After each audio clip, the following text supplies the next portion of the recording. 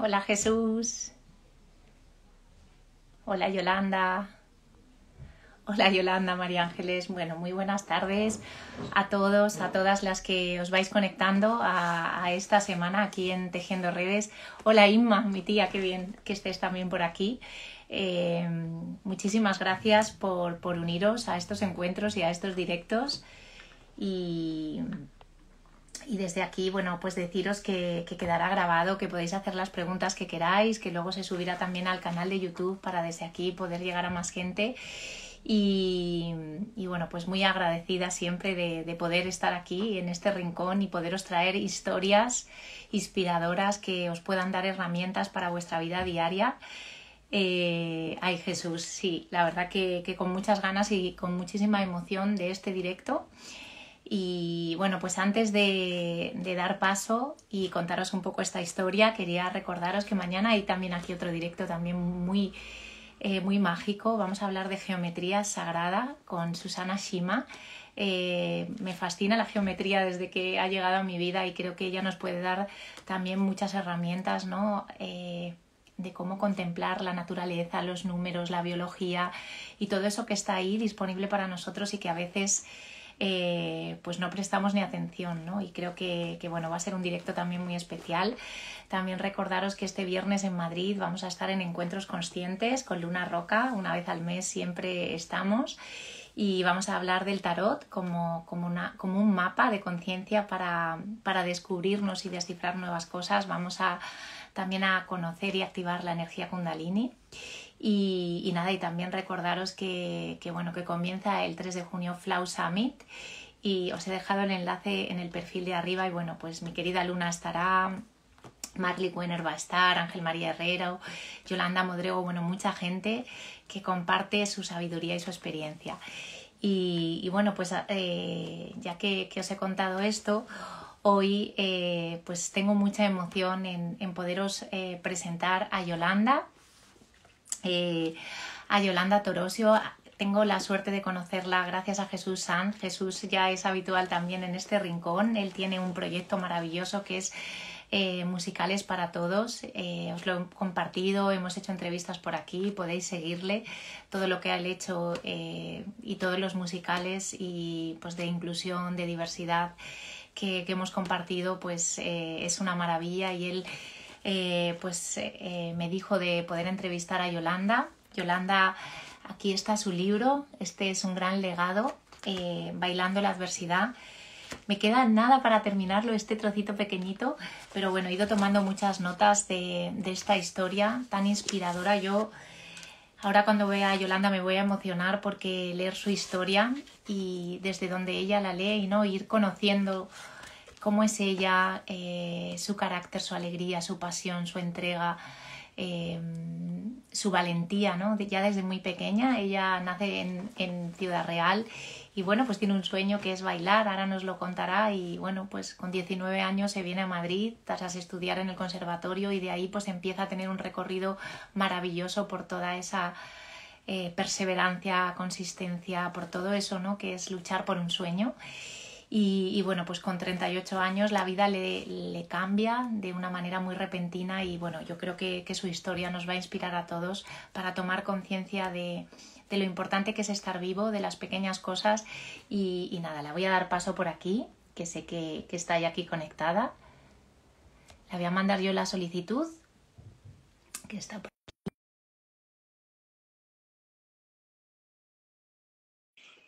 Y bueno, pues es un libro maravilloso, eh, inspirador, valiente, creciente, con un montón de herramientas. Ahora ya nos contará. Hola. Buenas, ¿qué tal? Pues oh, muy bien. Samantha, muchísimas gracias por todas las palabras que has dicho. Eh, bueno, de Jesús también iba a nombrarle, pero ya has dicho tú todo. Y nada, me ha parecido mm, súper bonito todo lo que has dicho, en serio.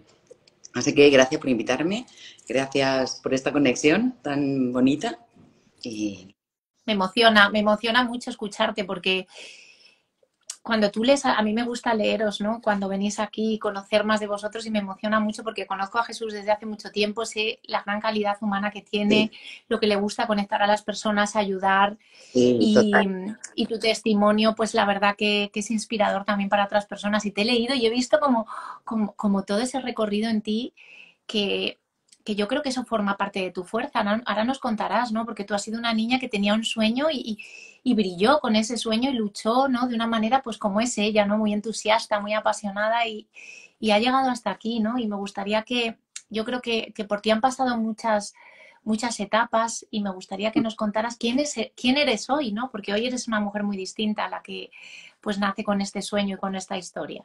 Claro, que pues eh, eso tenía muy claro lo que quería desde pequeña, que eso era para mí como lo, bueno, ¿no? Que, siempre lo tuve claro, no tuve que, pensarlo y decidirlo. Y nada, eh, tampoco lo tenía fácil porque era, un pueblo pequeño, entonces no había ahí tampoco mm, pues conservatorios y esas cosas. Y me estuvieron acompañando a un pueblo más grande de al lado a, a hacerlo, ¿no? Entonces, bueno, terminé la carrera, vine a Madrid con 19 años y después de estar tres años trabajando en otras cosas, pues, porque es verdad que además antes era muy difícil enterarte de los castings y todo, no hay internet como ahora. Y bueno, el caso es que pude hacer varios musicales y tal, incluso coreografiar algunos, era como que todo iba para arriba ante mi sorpresa, porque yo tampoco soñaba con algo tan grande.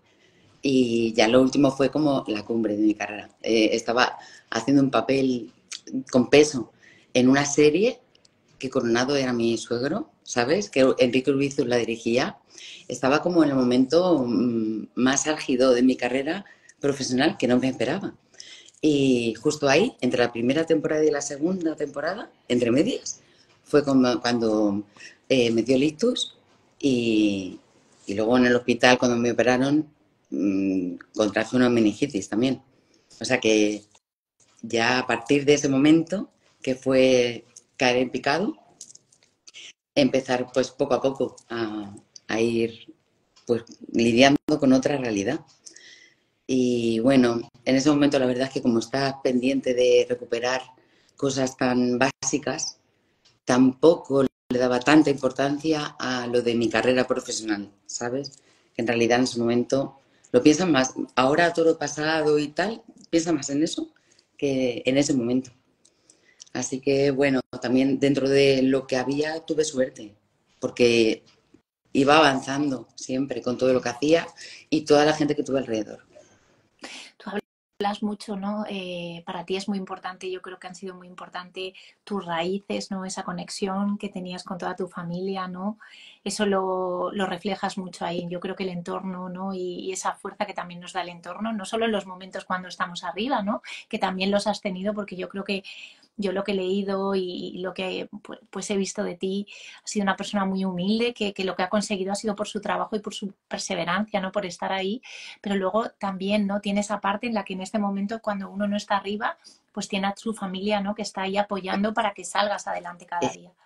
Que eso lo he valorado tanto, tanto, porque pienso que no todo el mundo tiene esa suerte porque lo he visto en compañeros. Hay gente que sí, pero hay otra gente que no, no está arropada de esa manera. Y yo, gracias a, haber tenido esos bastones, eh, pues he podido evolucionar hasta donde he evolucionado hoy. Y vamos, todo eso ha sido crucial, o sea, ha sido mm, básico total. Fíjate, a mí me impresionan muchas cosas. Yo me he apuntado aquí muchas cositas, ¿no? Mm. Eh, de bailar la vida ¿no? a bailar la adversidad. Yo creo que, que, tu don, ¿no? A través del cuerpo tú has expresado todo y eso quizá en ese momento álgido, pero también en ese momento en el que tú hay una frase que dices, ¿no? Que dices, a veces me preocupaba, claro, siendo bailarina, yo he trabajado en campañas y he trabajado con bailarinas, ¿no? Y allí pues a veces se hacían, eh, pues oye, tienes que tener un peso, tienes que tener una forma física, ¿no? Dices, me preocupaba a lo mejor de que mi peso fuera el correcto para poder moverme, para estar ágil, dice, y luego me preocupaba de, de respirar sin temblar, ¿no? Hasta ese punto. Exacto, porque los síntomas que yo tenía, aparte, después toda la parte derecha, y aparte de lo que se ve, el ojo, el habla, el brazo, la pierna, también era el movimiento entrecortado de todo, pero de la respiración también. Entonces yo ahí digo, y es verdad, porque yo eh, siempre he tendido a tener barriga. Entonces lo, digo tal cual. O sea, antes me preocupaba tener barriga y, y ahora me preocupaba respirar sin temblar. cómo nos cambia, ¿no? Pues, la vida. Mm, empiezas a dar importancia a lo que de verdad la tiene. Por eso a veces hay gente que lo que no nece- necesita nada de esto para valorar ciertas cosas, ¿no? Pero bueno, en mi caso sí, todo esto me ayudó a, a de verdad mm, darle importancia y valorar mucho. Claro, porque es aprender otra vez desde cero, ¿no? A, a- a- a- reeducar también tu cuerpo, ¿no? ¿Cómo, cómo te influye ahí? Porque, bueno, aquí cuando lees en el libro yo veo que tú tienes esa mentalidad, tú eres una persona como muy tirada para adelante, con fuerza, con alegría, con, con eso, ¿no? Y, y- eso ayuda también, aunque tengas miedo e incertidumbre de lo que pueda pasar, pero yo creo que eso también te ayuda mucho ahí. Claro, eh, lo de poner el foco, sobre todo, mm, siempre digo lo de que hay que permitirse venirse abajo, pero que no quedarte ahí, es centrarte en lo que los pequeños avances que vas haciendo sean el motor de querer seguir avanzando, aunque sean lentos, porque la paciencia en ese momento se tatúa en la piel de todos. Eh, es muy lento, pero los hay, y eso es lo que importa. El tiempo ya no importa, ¿sabes? Lo importante es no estancarte. Entonces, si tú tardas mucho tiempo, da igual en coger un vaso, solo eso, en cómo lo coges y cómo lo sueltas, pero va notando que eso va mejorando, aunque sea muy despacio, ya está. Entonces es cambiar el foco y ver lo que sí puedes hacer, no lo que ya no puedes hacer, sino lo que sí vas pudiendo hacer, ¿no? Es centrarte en, en esos avances. Fíjate, en valorar esas cositas pequeñas, ¿no? Que, que muchas veces, eso nos pasa muchas veces en la vida, que valoras al final lo que no tienes y nunca te centras en lo que realmente tienes, ¿no? Y tú lo cuentas aquí muy bien, ¿no? Exacto. Es que mismamente levantarte sin dolor. Por ejemplo, eh, ducharte con las dos manos en vez de con una. Yo, bueno, mil cosas, ¿no? Mil cosas. Pero cosas tan básicas, mm, no sé, eh, que no. Es que es todo. Entonces, hasta esto que acabo de hacer, no lo voy a hacer con la derecha. Me hacía así. Fíjate qué, qué maravilla. Y siempre con una sonrisa, ¿no? Porque tú lo cuentas ahí. La gente que te conoce, siempre con esa sonrisa, también en esos momentos también más adversos, ¿no? Que, que también eso te ayudaba también a, a poner la atención en el momento presente y decir, bueno, ahora mismo no hay nada más que esta recuperación, este Claro. poder salir adelante. Claro. Y el ir, eso, el ir viendo que poco a poco ibas pudiendo hacer cosas que antes no, ¿sabes? O fijarte en cómo lo haces con la izquierda, en mi caso, y poco a poco aprenderlo igual con la derecha, ya está. Entonces, si vas viendo esa pequeña evolución, mm, ya está. Y más que al principio es que no tienes tiempo tampoco de venirte mucho tiempo abajo. Yo no pensaba mucho, siempre hacía y tenía mucho La acción, ¿no? La acción para ti era importante. me refería, si no es la pierna en el brazo y si no la viste y si no la habla y si no sabes, siempre había algo. Entonces era haz y no pienses, ocúpate, ya está. Eso que se suele decir, ¿no? Eh, eh, no te preocupes, ocúpate, ¿no? Que muchas veces estamos siempre ahí preocupados, pero no nos ocupamos, como que no nos responsabilizamos. Tú dirías que tú te responsabilizaste de, de, de tu autocuidado, de tu, de tu sanación y de tu mejora. Es que era lo que había, entonces eh, no quedaba otra, ¿sabes? Y más cuando había posibilidad de mejorar, claro. Entonces no te lo planteas. Sí, sí, entonces ya es, te pones en manos de los profesionales, que eso es muy importante. Y luego aparte, yo hacía lo que hacía con ellos, luego aparte yo sola también. Entonces era como, bueno, es lo que ahora mismo toca y a mí me va. Y de hecho los médicos al principio te dicen que tienes un tiempo limitado, que yo cuando al principio no lo sabes, me lo creí. Y claro, me agobiaba pensar que llegaba el tiempo final y que digo, ay, que me quedan cuatro meses, ay, que me quedan dos. ay, que me- Y luego vas viendo que han pasado seis años y yo he seguido más lento, pero sigo notando todavía mejoras. Y eso es muy importante decirlo y para mí fue muy importante escucharlo. Eh, además de, de varios, de varios compañeros, eh, pues, que han pasado por lo mismo. Eso te Entonces, iba a preguntar yo, Yolanda, porque esto te pasa con 38 años, ¿no? Han pasado ahora 6 Sí. años, ¿no? Y cuando Sí. te, te pasa esto, los médicos te, dan un tiempo, te dan, porque muchas veces estos diagnósticos te los pueden decir y eso se queda como un decreto y en el inconsciente a lo mejor si tú no tienes esa capacidad de lucha y de salir adelante, a lo mejor tú te quedas ahí y dices, bueno, pues ya me dan dos meses o, o lo que sea y yo ya no lucho. Eso es justo lo que, lo que quería explicar, justo. Que al principio te dicen algunos que un año, otros que dos. Y bueno, es cierto es cierto que cuanto más cerca la lesión está, es más rápido la recuperación. Eso sí, pero no termina.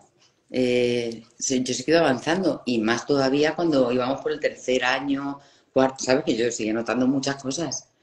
Y estuve trabajando mm, localizadamente como tres años o así y luego me vine a Madrid y en la vida, en el día a día de aquí, al final también era una terapia. Era bajar escaleras, estar detrás del escenario a curas, eh, bueno, mil cosas eh, del día a día, de ir a comprar sola, antes no, mm, hacerte la comida, yo qué sé, mil cositas que al fin y al cabo es terapia también. Lo que pasa es que ya es, claro, otra fase.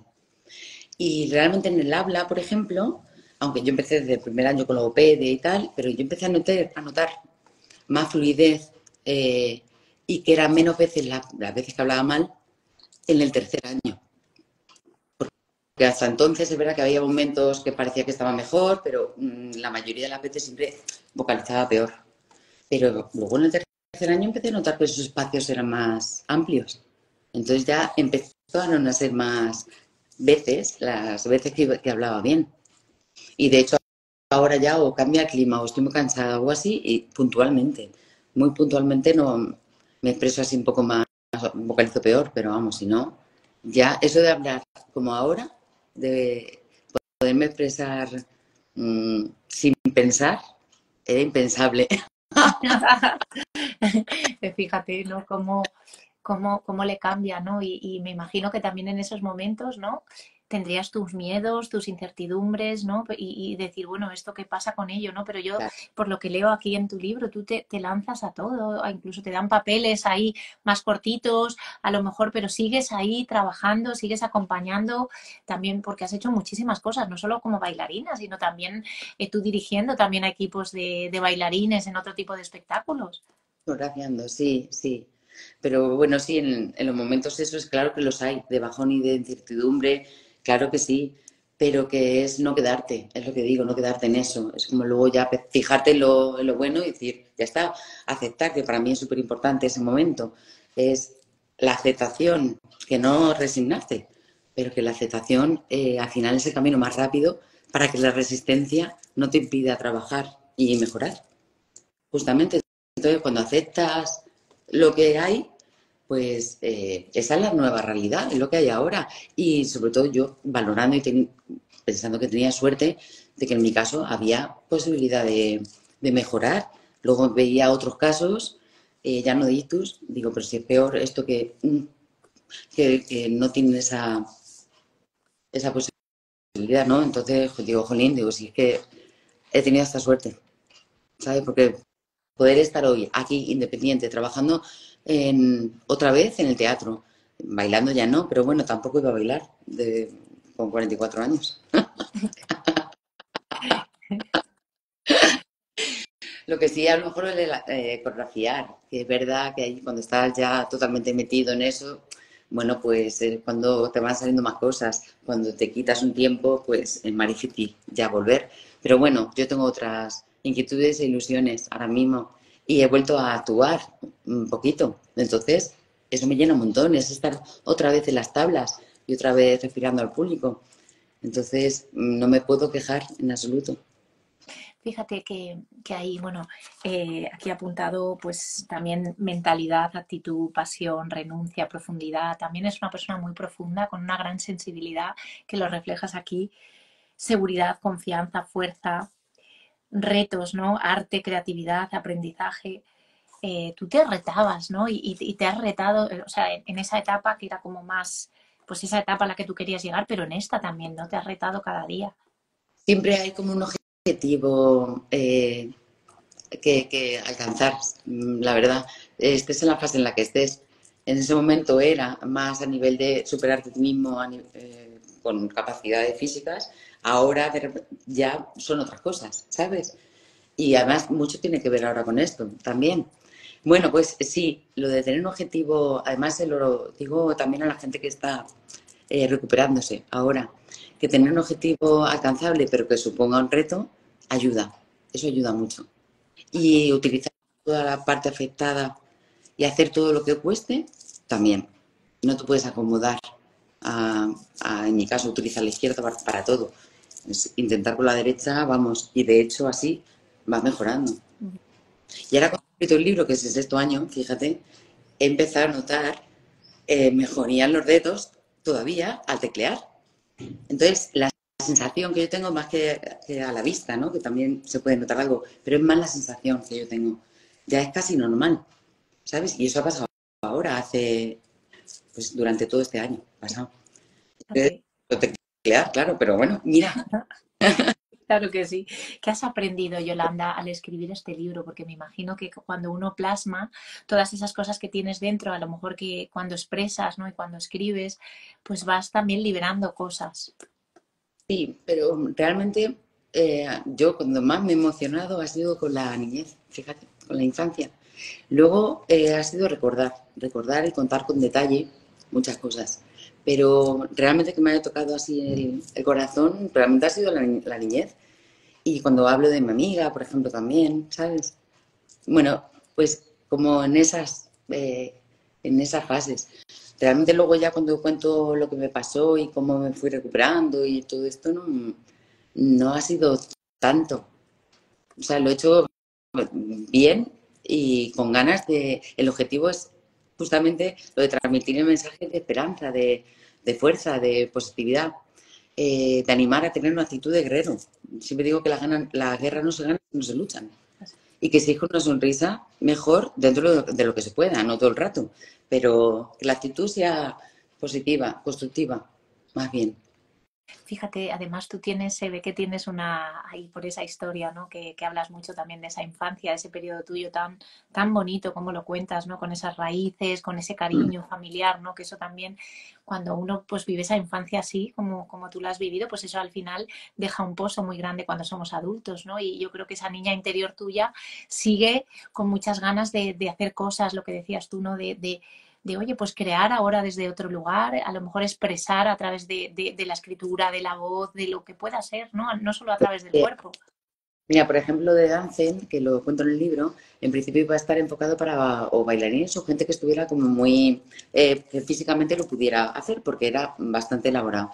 Y la idea era como equilibrar cada chakra del cuerpo en cada clase pues hoy toca el primer chakra, pues todo enfocado a eso y aunaba todas las disciplinas, eh, mudras, mantras, posturas de yoga, eh, bueno, meditaciones guiadas, todo eso a través de una música apropiada que vibrase. bueno, toda esta era la idea y empecé a hacer solo la primera clase en Nicaragua. Bueno, pues pasaron los años y como siempre había algo que coreografiar o bailar o tal, se quedó en un cajón. Y ahora cuando me pasó esto, eh, tenía la oportunidad de estar en un espejo en el hospital y empecé a retomar, basándome en aquello, eh, empecé a hacer los primeros movimientos de lo que realmente ahora es dancing, que es, bueno, no tiene nada que ver, porque es lo contrario, es de cómo aprender a levantarte del suelo, poner la cabeza boca, abajo, hacer un rebote de brazos a la derecha, hacer un doble paso, eh, yo qué sé, mm, cosas que hacíamos, por ejemplo, palmadas, solo las palmadas. Bueno, el caso es que yo me basé un poco en aquello y empecé a hacer esto para mí. Y bueno, cuando entré en el CIADAC al año siguiente, eh, se lo comenté al médico porque vino a cuento y a él le, llamó la atención entonces lo preparé para poderlo dar a otras personas y otros usuarios que podían hacerlo, porque es verdad que no todo el mundo puede hacerlo, mm, eh, vinieron durante unos meses. Entonces dije, ahora tiene sentido Dance. Este era el momento, porque ha fluido además. Y entonces se convirtió en mi primera respuesta a mi pregunta, ¿para qué? Pero ¿para qué? ¿Todo esto para qué es? ¿Sabes?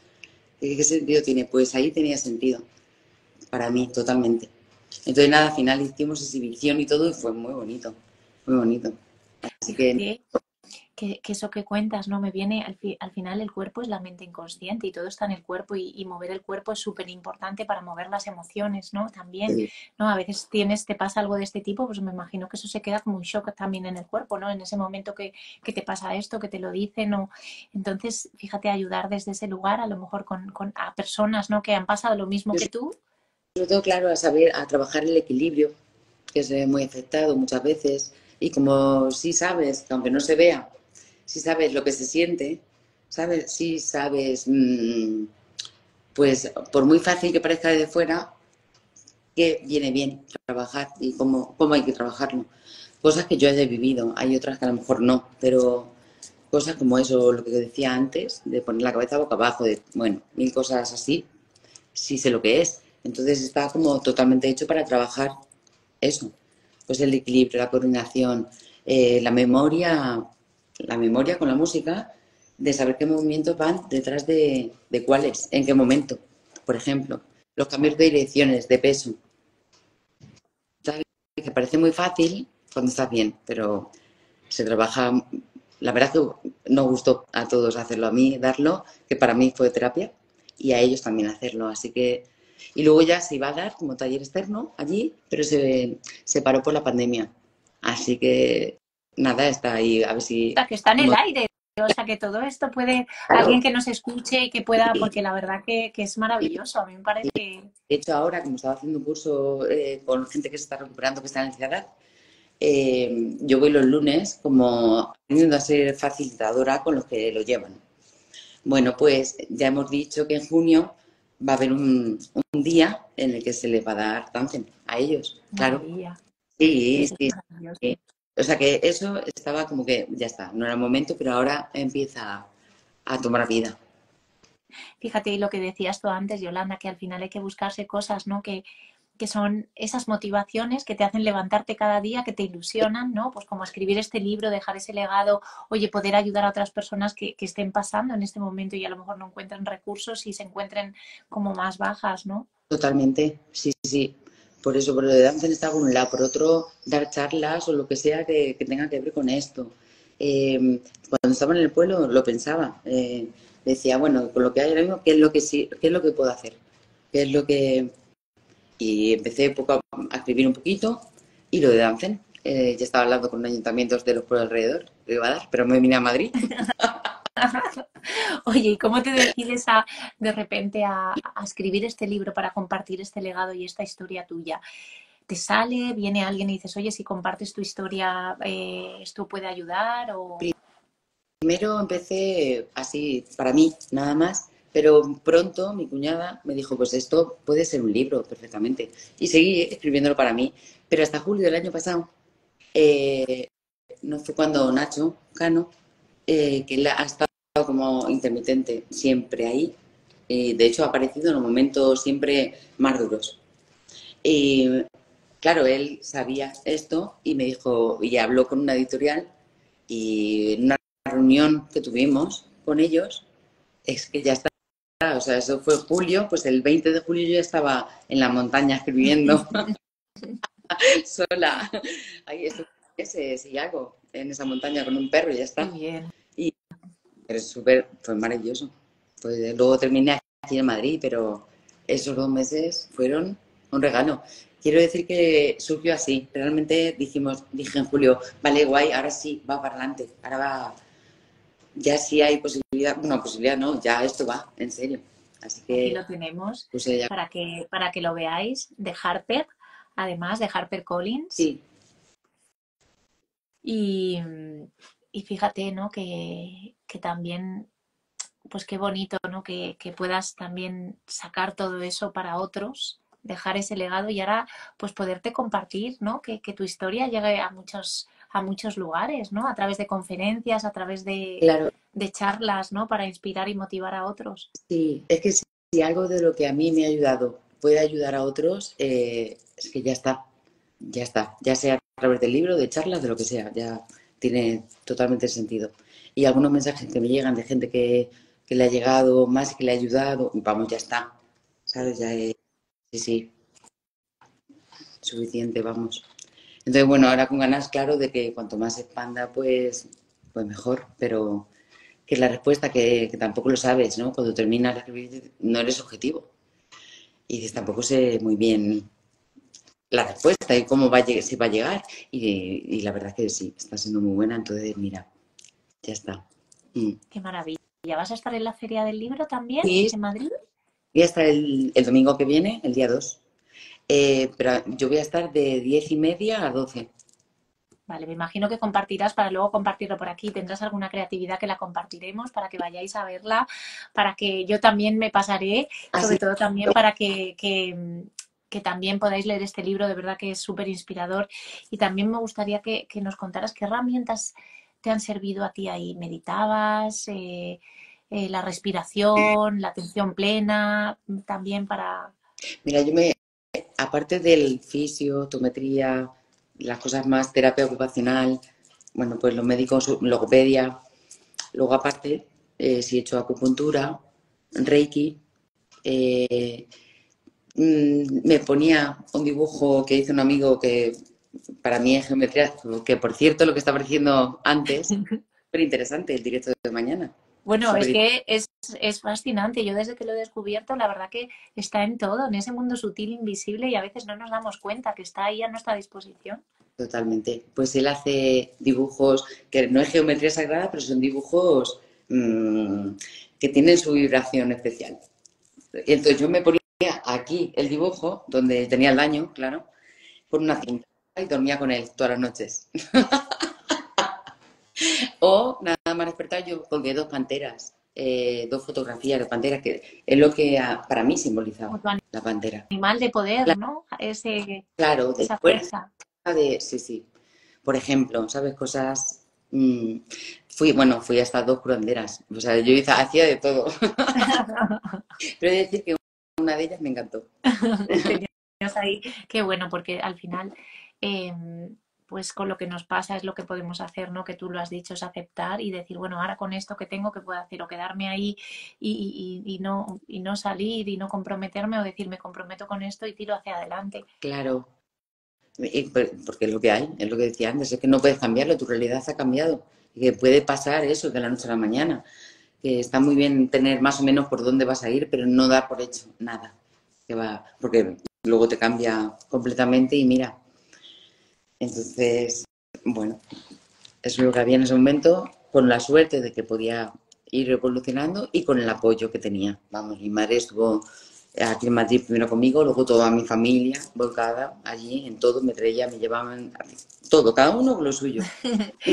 Cuentas cosas muy bonitas ahí, canciones que te dedica tu hermano ahí en el pueblo, ¿no? Sí, sí, qué fuerte, además mucha gente emocionada, ¿sabes? Que ves ahí el cariño que hay y cómo él, con su chirigota, claro, me dedicaron un paso doble súper bonito, con un mensaje eh, de, fuerza, de, apoyo total, que en ese momento, además no me lo esperaba, que en ese momento fue, claro, por eso lo, lo, cuento ahí.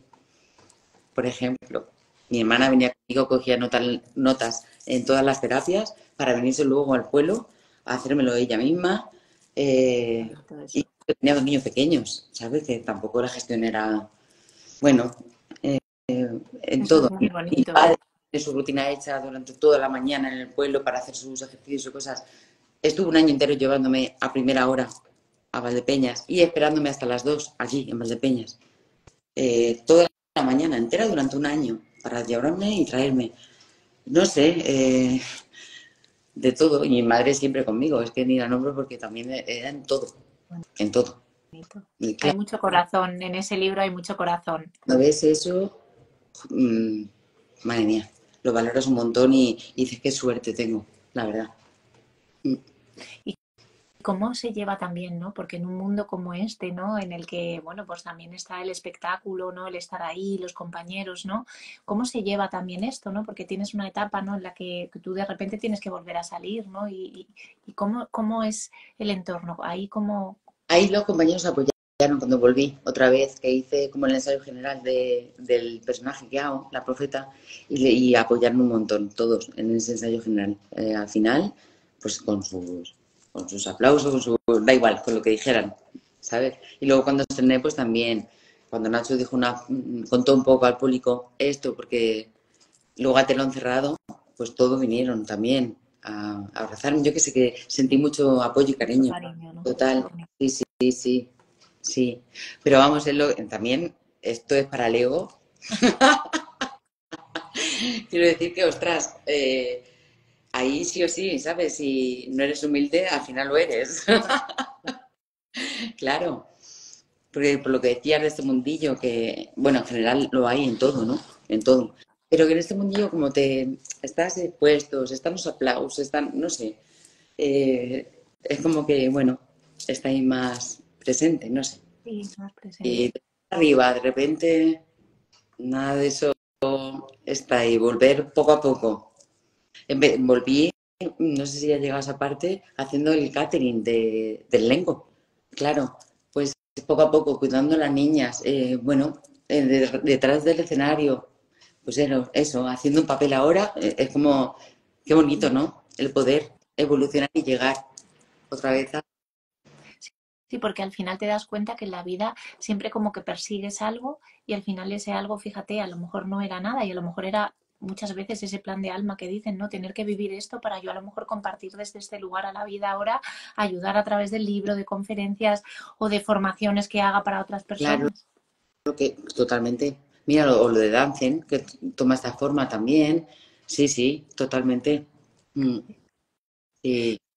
¿Qué les diría ahora, Yolanda, ¿no? Ahora que, porque claro, la vida de repente te cambia, ¿no? Y las prioridades de uno es al final la sencillez, las pequeñas cosas, el cariño de los que te rodean, ¿no? Yo creo que, que todo cambian esas prioridades, pero pero muchas veces yo creo que estamos viviendo ahora y se nos olvida, ¿no? La vida, ¿no? Parece que estamos ahí todo el rato, que no somos felices, que siempre estamos, ¿no? ¿Y, qué dirías tú? Claro, pensando más eh, bien en lo que nos falta, en lo que no tenemos, ¿no? En vez de valorar, agradecer, sobre todo agradecer, que para mí es uno de los sentimientos más elevados, eh, pues agradecer lo que y valorar y disfrutar lo que tienes, para empezar por la salud, para empezar, pues encima luego tienes gente, luego tienes, ya no podemos ir a cosas materiales, pero que hay tantas cosas en las que podemos estar contentos y agradecidos que, nos fijamos en lo que no y nos quejamos de, yo huía mucho de, las quejas constantes, no de porque nos desahogábamos entre compañeros,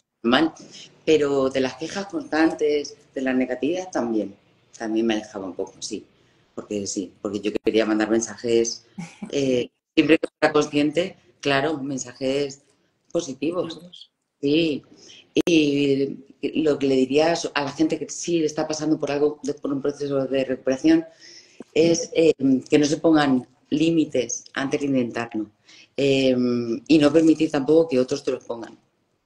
Que la capacidad del cerebro es desconocida y, y que allá donde pongas el foco, que el, el universo multiplica.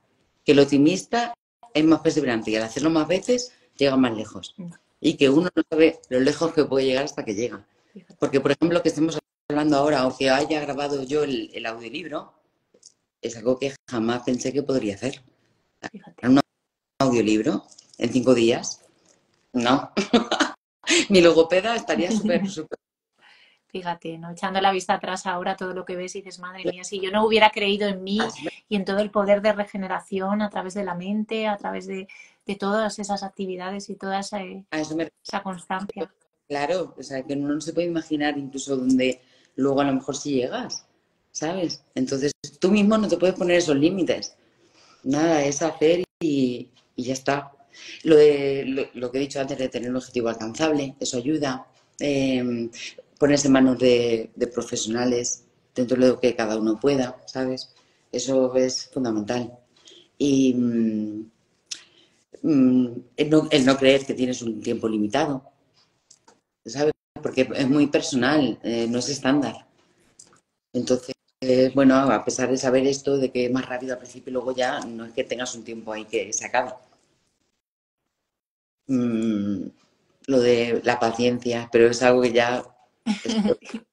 Fíjate, y hay otra parte, ¿no? Que también eh, tú lo dices ahí, lo mencionas, ¿no? Que, que, al final, claro, cuando tú te ves en una situación así, por ejemplo, hay mucha gente que es verdad que tiramos para adelante, queremos que nadie nos ayude, pero al final ahí no te queda más remedio que que te tengan que ayudar. Y eso también es una cura de humildad muy grande, claro. Exacto, sí. Entre otras cosas, a eso me refería antes. A que ahí no te queda otra. Entonces, sí. Ya ahí el orgullo y todo eso, eso ya no juega. Nada.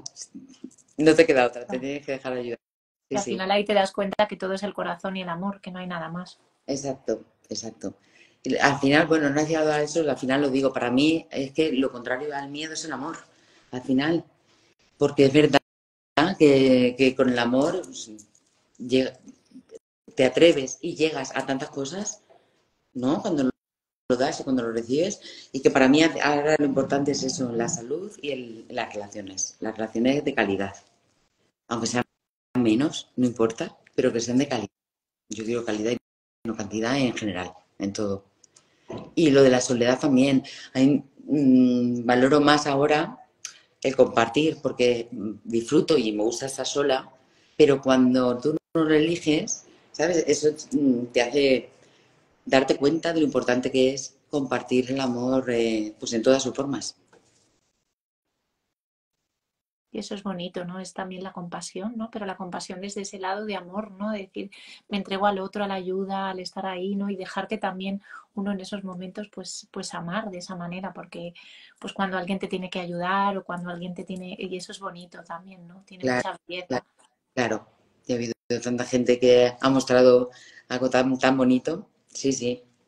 Mm. Qué maravilla. Pues la verdad que que es un, privilegio, la verdad, que, escucharte. No sé qué le pedirías ahora a la vida, ¿no? Ahora, o qué reto, ¿no? ¿Tienes ahora pensado? Es que más allá de lo que te decía antes, de seguir por el lado de la actuación, si salen cosas fenomenal, lo de las charlas, lo de dancing, sabes que hay varios frentes abiertos, pero que no le pido realmente nada más porque ahora mismo eh, estoy súper agradecida. Entonces, que estemos así mucho tiempo. Claro que sí. Y que este libro, pues que llega a muchas personas, ¿dónde lo pueden, dónde lo pueden? ¿Lo tienes en el link de tu bio? ¿Es en cualquier plataforma? En Amazon está, pero aparte están en todas las librerías, las más importantes, en todas, y luego en las de barrio eh, también están en muchas, no sé si en todas, pero están en muchas también, o sea que... Qué bien. Mm. Pues nada, eh, yo la verdad que, que muy agradecida eh, he sido muy feliz al leerte y me has conmovido mucho. Eh, y me he emocionado mucho al leerte por tu sensibilidad, por, todo ese recorrido y bueno, pues eh, yo todo lo que esté en mi mano aquí para difundir a todos los que estén también escuchando y que podáis pues comprar el libro, leerlo, aportar, mandar a gente que a lo mejor esté pasando por lo mismo para que esto llegue y bueno, ir a verla el domingo también, que ya lo va a compartir, lo vamos a poner también aquí y alguien si quiere también hacerle alguna pregunta, va a quedar grabado aquí, podéis escribirla a, su perfil que también comparte cosas muy bonitas. Muchas gracias, Samantha, por todo lo por la oportunidad de, hablar contigo aquí, por aquí. Sí, sí. es bonito, la verdad que a veces, ¿verdad? Este portal nos abre pues muchas oportunidades como estas de conocer pues historias como la tuya y gracias a Jesús que seguro que estará por ahí emocionado también. Gracias a Jesús, vamos, pero en esto y en, tantas cosas siempre, sí. Cuando leía esa parte de, que le mencionabas ahí, enseguida se lo mandé, digo, estoy emocionada aquí leyéndote que Yolanda te, dedica aquí una parte. ¿Sabéis que el título del libro eh, fue entre Jesús y yo? Entre los dos. Lo digo porque mira, sí, sí. Fue ahí algo que buscamos ahí entre los dos y mira, a mí me gusta mucho, ¿sabes? Eso. Pues es, es, maravilloso y a veces pues toca pues eso, ¿no? Y bailar la, adversidad, pero también con esa esperanza que, tú promueves. Así que pues nada, muchísimas gracias, ha sido un placer a todos. Lo vamos a dejar por aquí, lo compartimos también en tu perfil y de verdad que, sigue con ese proyecto tan bonito y, todo lo que vale. Muchas gracias a ti, de verdad, Samantha. Un placer. Un placer. Un beso muy grande. Gracias a todos. Por aquí te mandan muchos besos, amores y de todo. Muchas gracias a todos. Lo dejamos por aquí. Muy bien. Adiós.